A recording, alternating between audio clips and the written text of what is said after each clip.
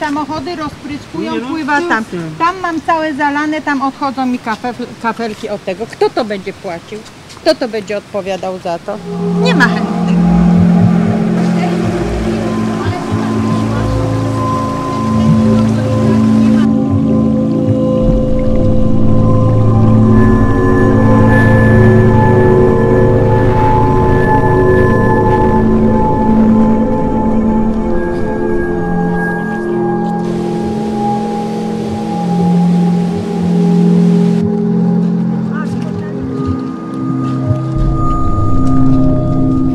Co nawiozą żwiru, pierwsza ulewa, wszystko jest na dole. Nie naturalnie, dopóki nie zrobią jakichś rowów odładniających i tutaj taką zlewnię, żeby ten żwir leciał do tej zlewni, nie? No, tu inaczej nic nie będzie, tak wszystko ten żwir leci na, na dół. Tutaj właśnie mieszkają dzieci. Jest taka sprawa, że płynie w ogóle ta woda y, prosto, prosto na ten budynek 25. Jest po prostu szambo cały czas w piwnicy i jest problem z tym, że smród w całej klatce schodowej, całym budynku. Nic sobie na to nie, w ogóle nikt nie, nie, nie reaguje, nawet sanepid nie reaguje. I Próbowała Pani zgłaszać tak, to? zgłaszałam wszystko, zgłaszałam do ZGL-u też i też nic nie było. I... No czy- czemu tak to śmierdzi? No to jest szambo. Szambo po prostu wy, wy, wypłynęło z tych, tych, y, tych k- kanalizacji. Tutaj proszę zobaczyć. Można tutaj nawet zobaczyć, tutaj teraz pokażę. Proszę zobaczyć, bo ta woda płynie tędy. O, płynie tu. Z góry płynie tutaj, na dół i do, do nas, do piwnicy. To wszystko z góry płynie, do budynku. I jest studienki szambowe, to wszystko do środka, do budynku wpływa. Jest masakrycznie, przecież tu są dzieci małe i, i sanepis na to nic nie, nie robi, nic nie działa. Okropnie, okropnie. W takim, takim, w takim brudzie i w tym to nie można w ogóle yy, mieszkać. Przecież to jest Co Pani ma zamiar zrobić? no co mam zamiar? Po prostu ja cały czas będę działać teraz z, z administracją, żeby administracja tutaj przyjechała, zobaczyła w ogóle ten budynek, w jakim stanie jest. Ja płacę 430 zł za mieszkanie, bez ogrzewania, bez niczego, 40 metrów i w takim, takim yy, bałaganie, jak tu wygląda, w takim smrodzie, przecież to jest sam fetor, smród.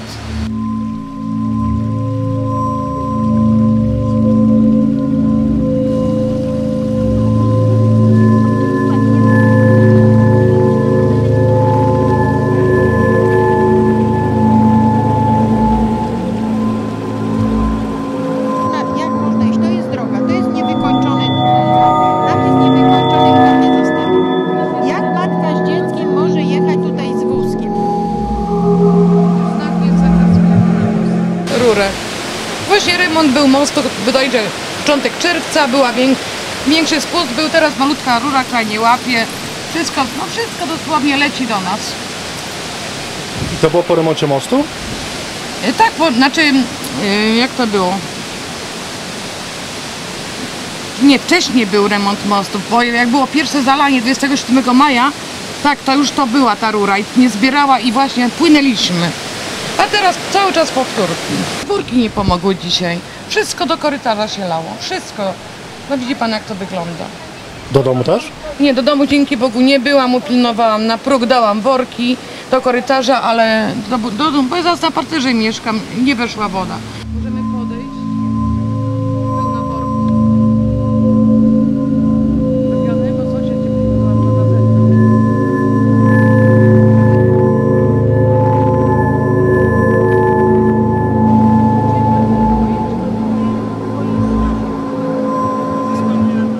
Skąd tutaj woda się u Pana wzięła? No to jest bardzo dziwne właśnie zjawisko, bo nigdy tego nie było. A te ulewy obecne w tej chwili, co były, no to razem z deszczówką zaczęła woda wybijać w tym miejscu i to dosyć intensywnie, także zalało nam podwórko. Musieliśmy tutaj y, workami do mieszkania tam i piachem przysypywać, żeby nie zalało nas, bo częściowo w piwnicy wodę mamy już. No to musieliśmy się jakoś organizować i zagrodzić ten dopływ wody.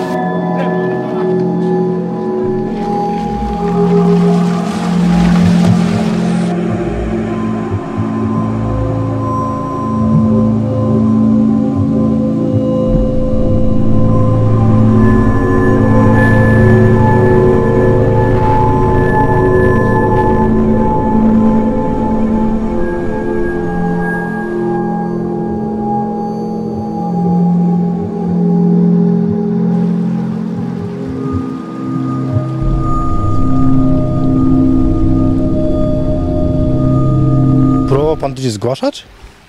Tu wszyscy zgłaszali, nie tylko ja. Wszyscy. Tu przecież i, i telewizja była i przecież w internecie to cały czas jest. Ale to się nikt nie przejmuje tym, demokracja.